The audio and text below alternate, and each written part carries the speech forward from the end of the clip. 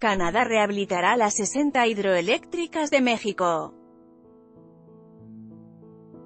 El presidente de la República Andrés Manuel López Obrador firmará un convenio de coinversión con la paraestatal canadiense Hydro-Quebec para modernizar las plantas generadoras de luz. Se va a firmar un acuerdo de cooperación entre Canadá y México, para modernizar nuestras hidroeléctricas. Va a haber una coinversión. Esto va a significar aumentar nuestra inversión eléctrica, potenciar lo que ya tenemos, modernizando las hidroeléctricas con las tecnologías actuales, anunció a través de sus redes sociales.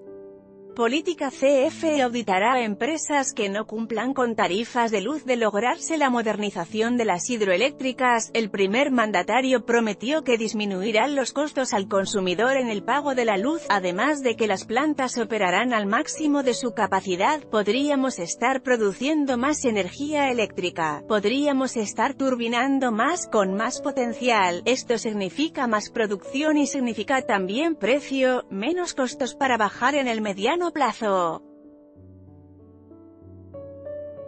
El precio de la energía eléctrica, como se dice coloquialmente, el precio al consumidor, explicó, durante la reunión privada con el embajador de Canadá en México, Pierre Alarie, y con la directora de Hidro-Quebec en nuestro país, Jacqueline Mongrut, acordaron que el gobierno canadiense aportará toda la tecnología e infraestructura para que las plantas centrales que operan al 40%, trabajen al 100% de su capacidad, según dijo López Obrador.